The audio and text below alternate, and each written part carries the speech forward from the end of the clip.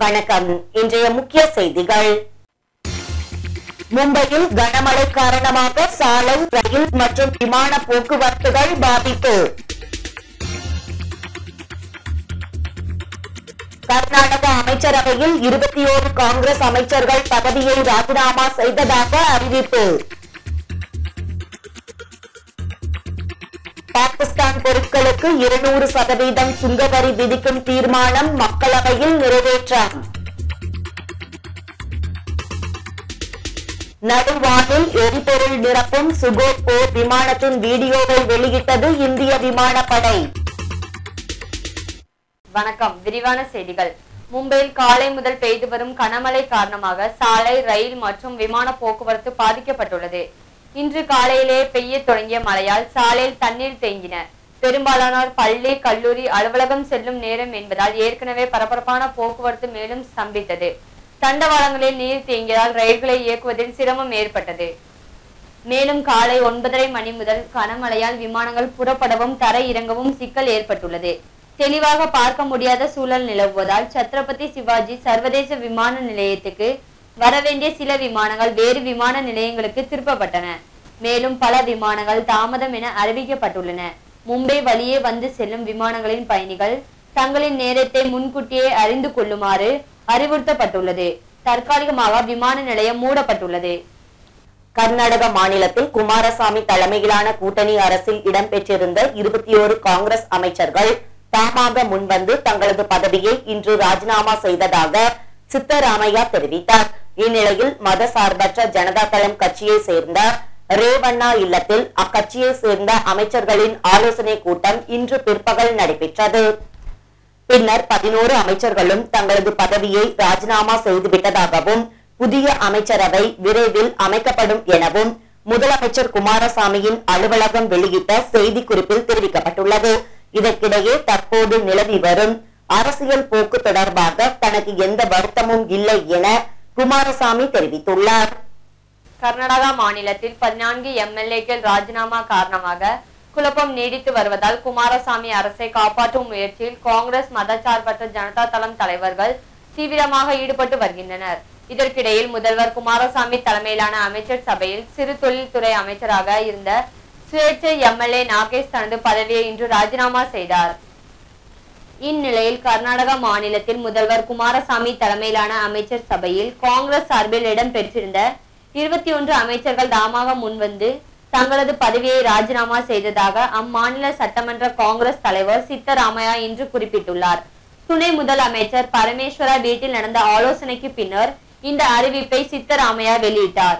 பாகிஸ்தானில் இருந்து இந்தியாவுக்கு அனுப்பும் பொருட்களுக்கு இருநூறு சதவீதம் சுங்கவரி விதிக்கும் மத்திய அரசின் முடிவை ஆதரித்து மக்களவையில் இன்று தீர்மானம் நிறைவேற்றப்பட்டது. ஜம்மு காஷ்மீர் மாநிலத்தின் புல்வாமா மாவட்டத்தில் பிப்ரவரி பதினான்கு இரண்டாயிரத்தி பத்தொன்பது அன்று பாகிஸ்தான் ஆதரவு பெற்ற தற்கொலை படை பயங்கரவாதி நமது வீரர்களை குறிவைத்து நடத்திய தாக்குதலில் முப்பத்தி ஐந்து பேர் உயிரிழந்தனர். இதைத் தொடர்ந்து இந்தியாவுக்கு மிகவும் உகந்த நாடு என்று பாகிஸ்தானுக்கு அளிக்கப்பட்ட சிறப்பு அந்தஸ்தை இந்தியா ரத்து செய்தது. மேலும் பாகிஸ்தானில் உற்பத்தியான மற்றும் அங்கிருந்து இந்தியாவுக்கு அனுப்பும் பொருட்களின் மீது இருநூறு சதவீதம் சுங்கவரி விதிக்க பிரதமர் மோடி தலைமையிலான மத்திய அரசு தீர்மானித்தது. முன்னாள் நிதியமைச்சர் அருண் ஜேட்லியின் ஆலோசனைப்படி இதற்கான அறிவிக்கை பிப்ரவரி பதினாறு இரண்டாயிரத்தி பத்தொன்பது அன்று வெளியிடப்பட்டது. இந்நிலையில் இந்த முடிவுக்கு நாடாளுமன்றத்தின் ஒப்புதலை கோரி மத்திய நிதித்துறை இணை அமைச்சர் அனுராக் தாக்கூர் நாடாளுமன்ற மக்களவையில் இன்று தாக்கல் செய்த தீர்மானம் உறுப்பினர்களால் நிறைவேற்றப்பட்டது. சுகோய் போர் விமானம் நடுவானில் எரிபொருள் நிரப்பிக் கொள்ளும் வீடியோவை இந்தியா விமானப்படை வெளியிட்டுள்ளது. இந்தியா மற்றும் பிரான்ஸ் விமானப்படைகளின் கூட்டு பயிற்சியானது அந்நாட்டின் மான்டி மார்சன் நகரில் நடைபெற்று வருகிறது. காடா என அழைக்கப்படும் இந்த கூட்டு பயிற்சியில் ரபேல் மிராஜ் இரண்டாயிரம் சுகோய் முப்பது உள்ளிட்ட போர் விமானங்கள் பங்கேற்றுள்ளன. இந்த பயிற்சியின் போது நடுவானில் ஐஎல் எழுபத்தி எட்டு போர் விமானத்திலிருந்து சுகோய் போர் விமானமானது. எரிபொருளை நிரப்பு கொள்ளும் வீடியோவை இந்திய விமானப்படை வெளியிட்டுள்ளது. முதலமைச்சர் தேவேந்திர பட்னாவிஸ் நேற்று முன்தினம் பாந்திராவில் உள்ள ஒரு ஹோட்டல் ஒன்றில் பாரதிய ஜனதா உறுப்பினர் சேர்க்கை முகாமை தொடங்கி வைத்தார். அப்போது அவர் பேசிய போது வர இருக்கும் தேர்தல்களில் மும்பை மற்றும் மாநிலத்தில் ஐம்பது சதவீத வாக்காளர்கள் பாரதிய ஜனதா மற்றும் கூட்டணி கட்சிக்கு ஆதரவளிக்க வேண்டும் என்றார். கடைசியாக நடந்த உறுப்பினர் சேர்க்கையின் போது பாரதிய ஜனதாவுக்கு ஒரு கோடி உறுப்பினர்கள் இருந்தனர். இந்த எண்ணிக்கை இரண்டரை கோடியாக அதிகரிக்கப்பட வேண்டும். மும்பையில் மட்டும் முப்பது லட்சம் வாக்காளர்கள் பாரதிய ஜனதா உறுப்பினர்களாக இருக்க வேண்டும். மும்பை பெருநகர பகுதிகளில் பத்து லட்சம் வீடுகள் கட்டப்பட உள்ளன. குடிசைவாசிகள் அனைவருக்கும் வீடு கட்டி கொடுக்கப்படும். அடுத்த பத்து ஆண்டுகளில் தாராவி புதிய பிகேசியாக உருவெடுக்கும் என்று அவர் பேசினார். மேலும் புனேவில் நடைபெற்ற கரும்பு மாநாட்டில் முதல்வர் பட்னாவிஸ் கலந்து கொண்டார். அப்போது அவரிடம் முதல்வரின் நிவாரண நிதிக்காக மாநில கூட்டுறவு வங்கி சார்பில் ஐந்து கோடி ரூபாய்க்கான காசோலை வழங்கப்பட்டது. இந்நிகழ்ச்சியில் மத்திய சாலை போக்குவரத்து அமைச்சர் நிதின் கட்காரியும் கலந்து கொண்டார். பாஜக கட்சியின் இளைஞரணி பிரிவான யுவா மோர்ச்சா என்ற அமைப்பில் இருக்கும் இளைஞர்கள் சென்று கொண்டிருந்த ஒரு கார் உட்பட இருபது இருசக்கர வாகனங்கள் தீ வைத்து கொளுத்தப்பட்டன. இச்சம்பவம் குறித்து திரிபுராவின் துணை சபாநாயகர் பிஸ்வா பந்தி சென் கூறும்போது இதற்கு முன்னதாகவே எங்கள் இளைஞரணி அமைப்பினர் பஞ்சாயத்து தேர்தல் வேலைகளில் ஈடுபட்ட பொழுது மார்க்சிஸ்ட் கம்யூனிஸ்ட் கட்சிகாரர்களால் தாக்கப்பட்டனர் என்று தெரிவித்தார். அக்கட்சியின் தலைவர்களால் தான் மீண்டும் இந்த நாச வேலைகளை செய்துள்ளனர். காயமடைந்த இளைஞர்களை மருத்துவமனைக்கு அனுப்பி வைத்துள்ளோம் என ஆவேசத்துடன் கூறினார். தகவலறிந்து காவல்துறையினர் சம்பவ இடத்திற்கு விரைந்தனர். இதையடுத்து செய்தியாளர்களுக்கு பேட்டியளித்த துணை பிரிவு காவல்துறை அதிகாரி ராஜேஷ் சுரேதர் கூறிய போது தராம் நகர் பகுதியில் வன்முறை சம்பவம் நடந்ததாக எங்களுக்கு தகவல் அறிக்கப்பட்டது. நாங்கள் வந்து பார்த்தபோது வாகனங்கள் எரிந்து கிடந்தன. இது குறித்து விசாரணை மேற்கொண்டு வருகிறோம் என்றார். எதிரி நாட்டு ராணுவ டேங்குகளை தாங்கி அளிக்கும் திறனுடன் உருவாக்கப்பட்டுள்ள நாக் ஏவுகணையின் சோதனை நேற்று வெற்றிகரமாக முடிந்தது.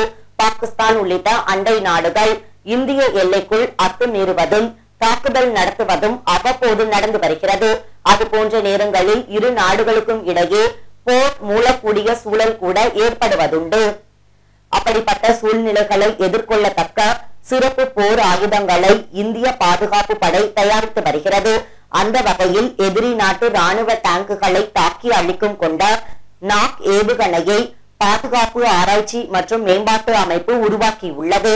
இதற்கான சோதனை ராஜஸ்தான் மாநிலத்தின் பொக்ரான் ராணுவ சோதனை தளத்தில் நேற்று நடைபெற்றது. அப்போது மேற்கொள்ளப்பட்ட மூன்று சோதனைகளும் வெற்றிகரமாக முடிந்தது. பகல் இரவு ஆகிய இரண்டு நேரங்களிலும் இந்த சோதனை நடைபெற்றது குறிப்பிடத்தக்கது. கோவண்டி பகுதியில் கட்டிடம் இடிந்த விபத்தில் எட்டு பேர் காயம்.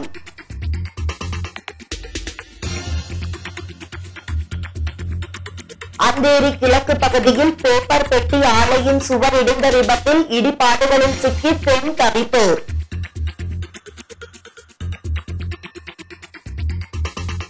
மும்பை லால்பாக் மேம்பால தடுப்பு சுவரில் குப்பை லாரி மோதி விபத்து.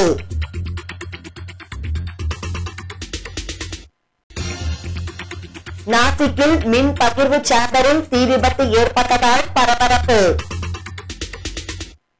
கோவண்டி சிவாஜி நகர் பகுதியில் உள்ள கட்டிடம் இடிந்து விபத்துக்குள்ளானதில் எட்டு பேர் பலத்த காயமடைந்தனர். கோவண்டி சிவாஜி நகர் பகுதியில் இன்று அதிகாலை இரண்டு மணிக்கு கட்டிடத்தின் மேற்கூரை சுவர் இடிந்து விபத்து ஏற்பட்டது. இந்த விபத்தில் எட்டு பேர் காயமடைந்தனர். சம்பவ பகுதிக்கு சென்ற காவல்துறையினர் மற்றும் தீயணைப்பு துறையினர் மீட்பு பணியில் ஈடுபட்டனர். காயமடைந்த சுபேதா பேகம் ஆயிஷா பானு நூர்ஜஹான் பானு ஆகியோர் ராஜபாடி மருத்துவமனையில் அனுமதிக்கப்பட்டனர். மேலும் காயமடைந்த ஐந்து பேர் முதலுதவி சிகிச்சைக்கு பின்னர் வீடு திரும்பினர். விபத்து குறித்து காவல்துறையினர் வழக்கு பதிவு செய்து விசாரணை நடத்தி வருகின்றனர். அந்தேரி கிழக்கில் உள்ள பேப்பர் பாக்ஸ் தொழிற்சாலையில் சுவர் இடிந்து விபத்துக்குள்ளானது. இந்த இடிபாடுகளுக்கு மத்தியில் பெண் ஒருவர் சிக்கிக் கொண்டார். அந்தேரி கிழக்கு பகுதியில் உள்ள பேப்பர் பெட்டி ஆலையில் சுற்றுச்சுவர் இடிந்து விபத்துக்குள்ளானது. இதன் இடிபாடுகளில் சிக்கி தவித்த பெண்ணை மீட்பு படையினர் பத்திரமாக மீட்டனர். மேலும் விபத்தில் மூன்று கார்கள் சேதமடைந்தது. நபர் ஒருவர் காயமடைந்தார். காட்கோப்பர் அந்தேரி இணைப்பு சாலை அசபா மெட்ரோ ரயில் நிலையம் அருகில் தேங்கிய வெள்ளத்தில் கார் ஒன்று மிதந்து சென்றது. அந்தேரியில் சுரங்கப்பாதையில் வெள்ளம் தேங்கியதால் சாலை போக்குவரத்து துண்டிக்கப்பட்டது. அந்தேரியில் இருந்து சர்ச்கேட் சென்ற புறநகர் ரயிலின் கூரையில் இருந்து வெள்ளம் கசிவான சம்பவத்தால் பயணிகள் வெகுவாக பாதிக்கப்பட்டனர். தாதர் பகுதியில் ஓட்டுநரின் கட்டுப்பாட்டை இழந்த லாரி ஒன்று கட்டிடத்துக்குள் புகுந்து விபத்துக்குள்ளானது. தாதர் பகுதியில் சாலையில் சென்ற லாரி ஒன்று ஓட்டுநரின் கட்டுப்பாட்டை இழந்து கட்டிடத்துக்குள் புகுந்து விபத்துக்குள்ளானது. இந்த விபத்தில் அதிர்ஷ்டவசமாக உயிர் சேதம் ஏதும் நிகழவில்லை. கட்டிடத்தின் முன்பகுதி மற்றும் லாரி ஆகியன விபத்தில் சேதமடைந்துள்ளது. இச்சம்பவத்தால் அப்பகுதியில் பரபரப்பான சூழல் நிலவியது. விபத்து குறித்து வழக்கு பதிவு செய்த காவல்துறையினர் விசாரணை நடத்தி வருகின்றனர். மும்பை லால்பாக் பகுதியில் சென்ற குப்பை லாரி மேம்பால தடுப்பு சுவரில் மோதி விபத்துக்குள்ளானதில் சாலை போக்குவரத்து வெகுவாக பாதிக்கப்பட்டது. லால்பாக் பகுதியில் இன்று காலை குப்பை லாரி ஒன்று ஓட்டுநரின் கட்டுப்பாட்டை இழந்து தடுப்பு சுவரில் மோதி விபத்துக்குள்ளானது.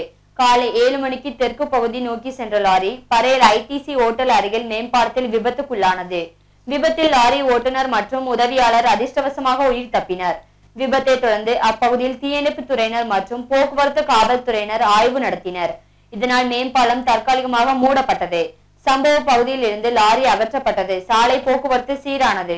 காஞ்சூர் மார்க் பகுதியில் மாநகராட்சி துப்புரவு பணியாளர்கள் குப்பைகளை அடித்து செல்லும் வெள்ளத்தில் கலந்துவிட்ட சம்பவம் பரபரப்பை ஏற்படுத்தியுள்ளது. மும்பை மாநகராட்சியில் பணியாற்றி வரும் துப்புரவு ஊழியர்கள் மழைக்காலத்தில் வெள்ளம் கரை புரண்டு வந்த நிலையில் குப்பைகளை ஓடும் வெள்ளத்தில் கலந்துவிட்டனர். காஞ்சூர் மார்க் ரயில் நிலையம் அருகில் உள்ள மகாவீர் ட்ரிங்கட் குடியிருப்பு கட்டிட பகுதியில் இவை அரங்கேறியுள்ளது மழை வெள்ளத்தை பயன்படுத்தி அதில் குப்பைகளை கலந்து நீரின் போக்கில் விட்ட சம்பவம் பல பகுதியில் நிகழ்ந்துள்ளது. ஏற்கனவே தூர்வாராமல் கழிவுநீர் கால்வாய் நிரம்பி வழியும் நிலையில் இந்த குப்பைகளும் கலந்து மேலும் வெள்ளம் தேங்க வழிவகுத்து வருகிறது. நாசிக் இந்திரா நகர் பகுதியில் உள்ள கட்டிடம் முன்பு இருந்த மின் பதிவு சேம்பரில் மின்கசிவு காரணமாக பயங்கர தீ விபத்து ஏற்பட்டது. நாசிக்கில் இந்திரா நகர் பகுதியில் உள்ள கட்டிடத்தின் முன் பகுதியில் மின்சார வாரியத்தின் மின் பகிர்வு சேம்பர் இருந்தது. இந்நிலையில் இன்று காலை இதில் மின்கசிவு காரணமாக தீ விபத்து ஏற்பட்டது. மேலும் மின் கேபிள்கள் வெடித்து சிதறியது. அப்பகுதியில் தீ கொழுந்துவிட்டு எரிந்ததால் சாலை போக்குவரத்து கடுமையாக பாதிக்கப்பட்டது. இது குறித்து கருத்து தெரிவித்த அப்பகுதி மக்கள் தொடர்ந்து கொடுத்து வரும் புகார்களை ஏற்காமல் மின் வாரியத்தினர் அலட்சியம் காட்டி வந்ததாக குற்றம் சாட்டினர். நாசிக் பஞ்சாவதி பகுதியில் உள்ள கட்டிடம் நேற்று இடிந்து விபத்துக்குள்ளானது. சம்பவ பகுதியில் மீட்பு பணிகள் நடைபெற்று வருகிறது. நாசிக் பஞ்சாவதி பகுதியில் உள்ள ஹேம் குஞ்சில் மூன்று மாடி கட்டிடம் நேற்று காலை இடிந்து விபத்துக்குள்ளானது. நாற்பது ஆண்டுகள் பழமை வாய்ந்த கட்டிடம் இடிந்ததை தொடர்ந்து அதன் இடிபாடுகளை அகற்றும் பணியில் மாநகராட்சி ஊழியர்கள் ஈடுபட்டனர். மதுபான் காலனி பகுதியில் உள்ள இந்த கட்டிடம் மிகுந்த சிதிலத்துடன் காணப்பட்டது. மழைக்காலம் துவங்கியதும் குடியிருப்பு வாசிகள் அப்பகுதியிலிருந்து அப்புறப்படுத்தப்பட்டு இருந்தனர். இதனால் பெரும் அசம்பாவிதம் தவிர்க்கப்பட்டது. விபத்து நடந்த இடத்தில் மீட்பு பணிகள் துரிதமாக நடைபெற்று வருகிறது. மும்பையில் பெய்து வரும் தொடர் மழையால் விமான நிலையம் தற்காலிகமாக மூடப்பட்டுள்ளது. மகாராஷ்டிரா மாநிலம் மும்பையில் இதுவரை இல்லாத அளவுக்கு கனமழை பெய்து வருகிறது. தொடர் மழையால் மும்பை மாநகரமே வெள்ளத்தில் மிதக்கிறது. இந்த கனமழையால் பேருந்து ரயில் மற்றும் விமான போக்குவரத்து கடுமையாக பாதிக்கப்பட்டுள்ளது. இந்நிலையில் விமான நிலையத்தில் தண்ணீர் சூழ்ந்துள்ளதால் விமானம் தரை இறங்க முடியாத நிலை உள்ளது. வெளிச்சம் மிக குறைவாக இருப்பதால் விமான நிலையத்தை தற்காலிகமாக மூட உத்தரவிடப்பட்டுள்ளது. இதனால் இங்கிருந்து புறப்படும் விமானங்கள் வந்து சேரும் விமானங்கள் அனைத்தும் ரத்து செய்யப்பட உள்ளதாகவும் தற்காலிகமாக விமான நிலையம் மூடப்படுவதாகவும் அறிவிக்கப்பட்டுள்ளது. இதுபோல் பால்கர் தானே ராய்காட் பகுதிகளில் இன்று காலை முதல் பெய்த மழையால் பலத்த பாதிப்பு ஏற்பட்டுள்ளது. உத்தரப்பிரதேச மாநிலத்தில் பாரதிய ஜனதா கட்சியில் ஒரு முஸ்லிம் பெண் இணைந்ததை அடுத்து அவர் குடியிருக்கும் வீட்டின் உரிமையாளர் அவரை வீட்டை விட்டு காலி செய்யுமாறு கூறிய சம்பவம் அதிர்ச்சியை ஏற்படுத்தியுள்ளது. உத்தரப்பிரதேச மாநிலத்தில் உள்ள அலிகார் என்ற பகுதியில் குலுஸ்தானா என்ற முஸ்லிம் பெண் தனது குடும்பத்தினர்களுடன் ஒரு வாடகை வீட்டில் வசித்து வந்தார். அந்த வீட்டின் உரிமையாளர் ஒரு தீவிர பாரதிய ஜனதா கட்சி எதிர்ப்பாளர் ஆவார். இந்த நிலையில் அந்த முஸ்லிம் சமீபத்தில் பாரதிய ஜனதா கட்சியில் இணைந்தார். இந்த செய்தியை அறிந்த வீட்டின் உரிமையாளர் ஆத்திரமடைந்து பாரதிய ஜனதா கட்சியில் சேர்ந்தவர்கள் எனது வீட்டில் வாடகைக்கு குடியிருக்க கூடாது உடனே காலி செய்யவும் என வலியுறுத்தியுள்ளார்.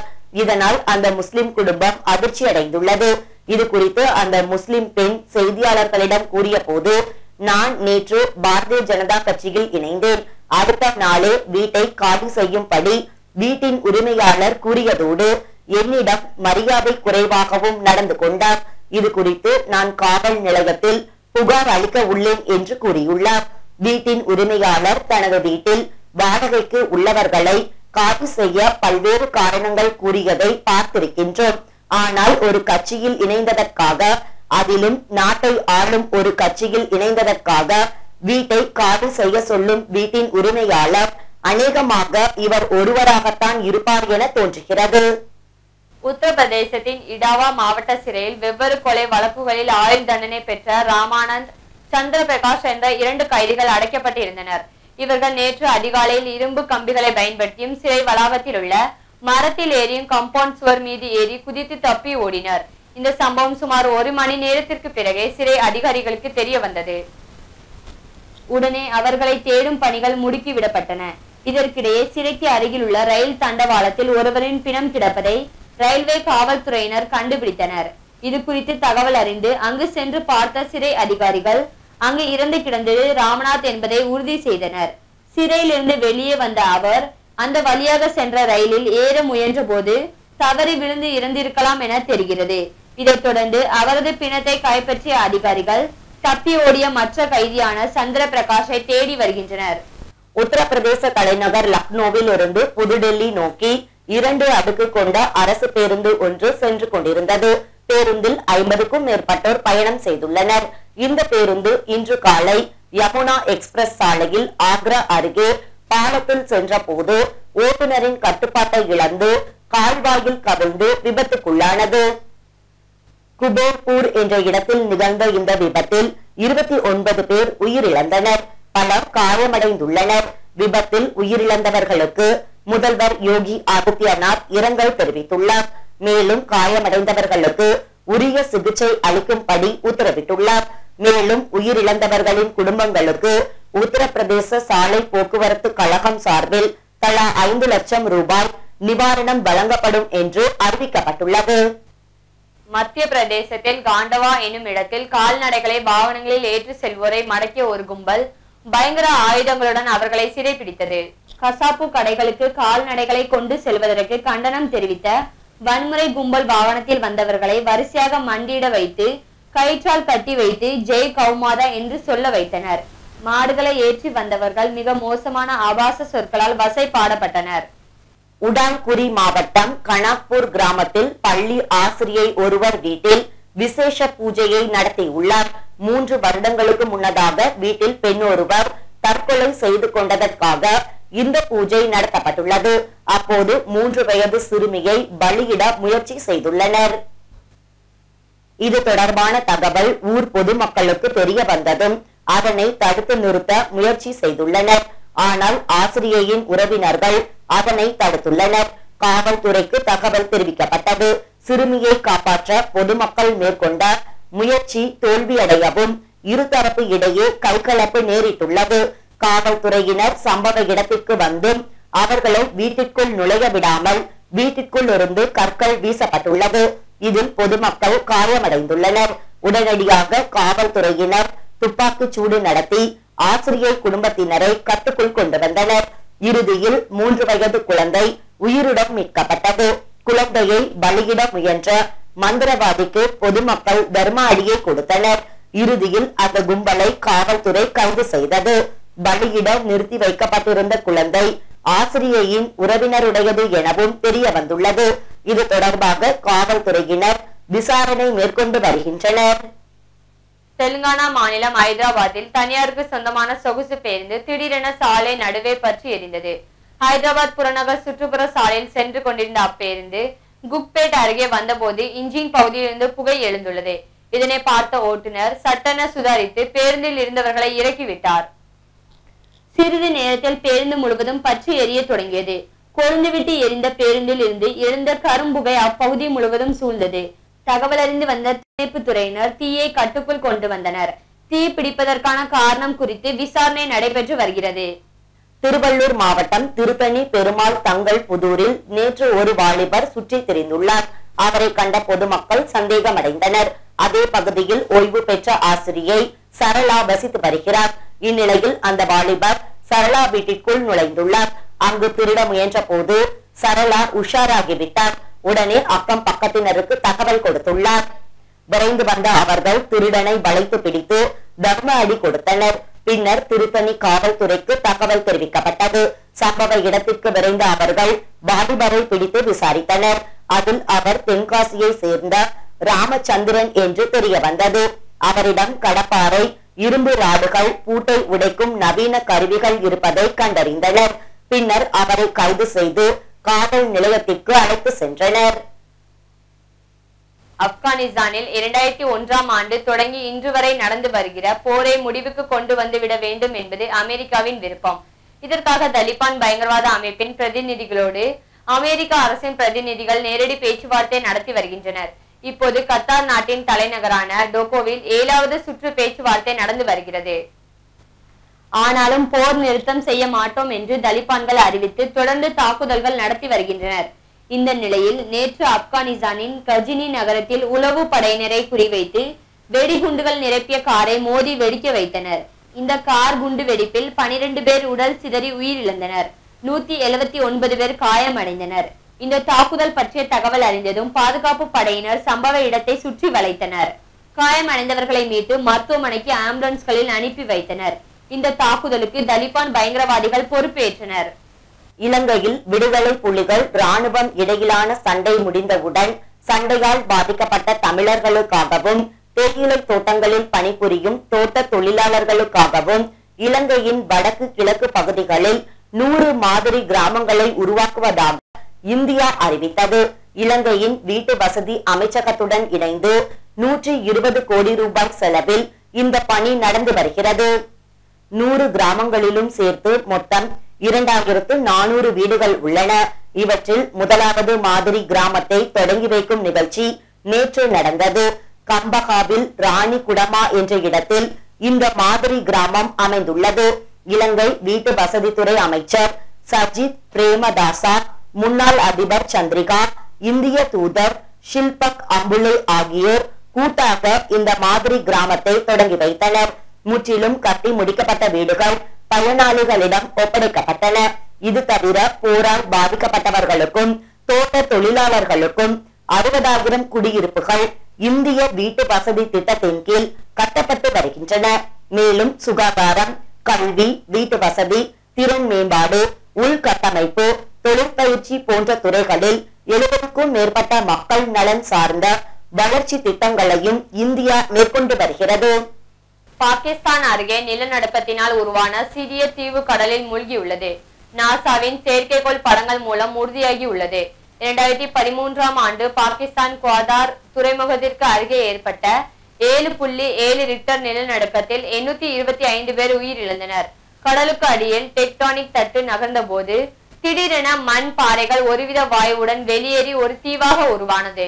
சல்சலாகோ என பெயரிடப்பட்ட அந்த தீவில் சிறு எரிமலை போல் பொங்கி வந்ததை பலரும் சென்று பார்த்து சென்றனர். வாய்வோடு எரிமலை உருவான போது அங்கிருந்த மின் உள்ளிட்ட கடல்வாழ் உயிரினங்களும் செத்து கிடந்தன. செரு கொதிக்கும் இடத்தில் தீயை பற்ற வைத்ததால் அது வாயு வெளியேற்றத்துக்கு ஏற்ப குபு குபு என பற்றி எரிந்தது. இந்நிலையில் நிலநடுக்கத்தால் உருவான அந்த தீவு காலப்போக்கில் கடலில் மூழ்கி உள்ளது. செயற்கைக்கோள் புகைப்படங்களை காலத்துக்கு ஏற்ப ஒப்பிட்டு பார்க்கையில் தீவு இருந்த இடமே தெரியாமல் போய் உள்ளது இது குறித்து புகைப்படங்களை நாசா வெளியிட்டுள்ளது. சர்வதேச சந்தையில் தங்கத்தின் விலையில் ஏற்ற இறக்கம் நிலவி வருகிறது. இதன் எதிரொலியாக உள்ளூரிலும் தங்கத்தின் விலையில் மாற்றம் உண்டாகிறது. நேற்று இருபத்தி இரண்டு கேரட் தங்கம் சவரனுக்கு இருபத்தி ஆறாயிரத்து இருநூற்றி நாற்பத்தி எட்டு ரூபாய்க்கு விற்கப்பட்டது. இந்நிலையில் இன்று ஆபரண தங்கத்தின் விலை சவரனுக்கு எட்டு ரூபாய் உயர்ந்துள்ளது. இன்றைய காலை நிலவரப்படி இருபத்தி இரண்டு கேரட் ஆபரண தங்கத்தின் விலை சவரனுக்கு எட்டு ரூபாய் உயர்ந்துள்ளது. கிராமுக்கு மூவாயிரத்தி இருநூற்றி எண்பத்தி இரண்டு ரூபாயாகவும் சவரனுக்கு இருபத்தி ஆறாயிரத்து இருநூற்றி ஐம்பத்தி ஆறு ரூபாயாகவும் விற்பனை செய்யப்படுகிறது. தூய தங்கத்தின் விலை இன்று சவரனுக்கு எட்டு ரூபாய் உயர்ந்துள்ளது. இருபத்தி நான்கு கேரட் தூய தங்கத்தின் விலை கிராமுக்கு மூவாயிரத்தி ஐநூற்றி எண்பது ரூபாயாகவும் சவரனுக்கு இருபத்தி எட்டாயிரத்து அறுநூற்றி நாற்பது ரூபாயாகவும் விற்பனை செய்யப்படுகிறது. வெள்ளி விலையில் மாற்றமில்லை. வெள்ளி கிராமுக்கு நாற்பது ரூபாய் ஐம்பத்தி எட்டு காசுகளாக உள்ளது. ஒரு கிலோ வெள்ளி நாற்பதாயிரத்து ஐநூற்றி எண்பது ரூபாய்க்கு விற்பனை செய்யப்படுகிறது. திருநெல்வேலியை அடுத்த பத்தமடை அருகே தனியார் பேருந்தும் காரும் நேருக்கு நேர் மோதி ஐந்து பேர் உயிரிழந்த விபத்து குறித்து காவல்துறையினர் வழக்கு பதிவு செய்து விசாரணை மேற்கொண்டு வருகின்றனர்.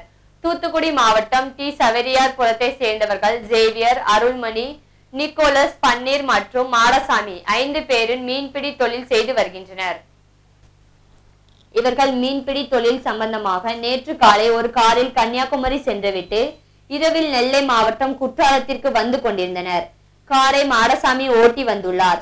கார் நெல்லையை கடந்து முன்னீர் பள்ளம் சென்ற நிலையில் அங்கு நண்பர் ஒருவரை காரில் ஏற்றி கொண்டு பத்தமடை அருகே கார் சென்று கொண்டிருந்த போது பாபநாசத்தில் இருந்து நெல்லை நோக்கி வந்த தனியார் பேருந்துடன் எதிர்பாராத விதமாக நேருக்கு நேர் மோதி விபத்துக்குள்ளானது. இதில் காரில் பயணம் செய்த ஜேவியர் நிக்கோலஸ் பன்னீர் மாடசாமி உள்ளிட்ட ஐந்து பேரும் சம்பவ இடத்திலேயே பரிதாபமாக உயிரிழந்தனர். விபத்து குறித்து தகவல் அறிந்ததும் பத்தமடை காவல்துறையினர் மற்றும் சேரன் மகாதேவியில் இருந்து தீயணைப்பு படையினர் விரைந்து வந்து மீட்பு பணியில் ஈடுபட்டனர். இதில் காரில் வந்து பலத்த காயமடைந்த அருள்மணியை மீட்டு உடனடியாக பாளையங்கோட்டை அரசு மருத்துவமனைக்கு அனுப்பி வைத்தனர். அங்கு அவருக்கு தீவிர சிகிச்சை அளிக்கப்பட்டு வருகிறது. மற்ற ஐந்து பேரின் உடல்களும் மீட்கப்பட்டு உடற்கூறு ஆய்வுக்காக பாளையங்கோட்டை அரசு மருத்துவமனைக்கு அனுப்பி வைக்கப்பட்டது. சம்பவ இடத்திற்கு மாவட்ட காவல்துறை கண்காணிப்பாளர் அருண் சக்தி குமார் விரைந்து வந்து பார்வையிட்டு விபத்து குறித்து விசாரணை நடத்தினார். விபத்து குறித்து பத்தமடை காவல்துறையினர் வழக்கு பதிவு செய்து விசாரணை மேற்கொண்டு வருகின்றனர். குற்றாலத்திற்கு குளிக்க சென்ற நிலையில் விபத்து ஏற்பட்டு ஐந்து பேர் உயிரிழந்த சம்பவம் பெரும் அதிர்ச்சியை ஏற்படுத்தியுள்ளது. தாராவி கண்ணாடி சால் ஸ்ரீ முத்துமாலை அம்மன் ஆணி திருவிழாவை முன்னிட்டு நேற்று இரவு நடைபெற்ற சப்பர பவனி தொண்ணூறடி சாலை வழியாக சென்றது. தாராவி கண்ணாடிச்சால் பகுதியில் உள்ள ஸ்ரீ முத்துமாலை அம்மன் கோவில் ஆணி திருவிழா நேற்று துவங்கி வெகு விமர்சையாக நடைபெற்று வருகிறது. வரும் பதினாறாம் தேதியுடன் நிறைவு பெறும் ஆணி திருவிழாவை முன்னிட்டு தினசரி மண்டப பூஜை நடைபெற்று வருகிறது. நேற்று ஆணி திருவிழா துவக்க தினத்தை முன்னிட்டு மாலை கோவிலில் இருந்து உற்சவ மூர்த்தி சர்வ அலங்காரத்துடன் பவனி வந்தது. சப்பர பவனி தொண்ணூறு அடி சாலை வழியாக சென்றது. இதில் பக்தர்கள் திரளாக கலந்து கொண்டனர். ஆணி திருவிழா நிகழ்ச்சி ஏற்பாட்டை ஸ்ரீ முத்துமாலை அம்மன் டிரஸ்ட் நிர்வாகிகள் வெகு சிறப்பாக செய்து வருகின்றனர்.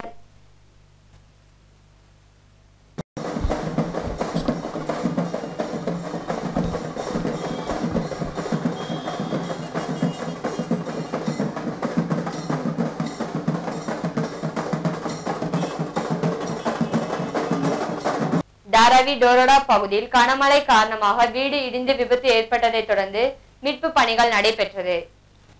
தாராவியில் பெய்த கனமழை காரணமாக டோரோடா பகுதியில் வீடு ஒன்று இடிந்து விபத்துக்குள்ளானது. விபத்தை தொடர்ந்து அப்பகுதியில் இடிபாடுகள் சிதறி கிடந்தது. சம்பவ பகுதியில் மீட்பு படையினர் இடிபாடுகளை அகற்றும் பணியில் ஈடுபட்டிருந்தனர். விபத்தில் உயிர் சேதம் எதுவும் நிகழவில்லை என்று அதிகாரிகள் தெரிவித்தனர். விபத்து குறித்து வழக்கு பதிவு செய்த காவல்துறையினர் விசாரணை மேற்கொண்டு வருகின்றனர். விபத்தை தொடர்ந்து அப்பகுதியில் கடும் பரபரப்பு நிலவியது.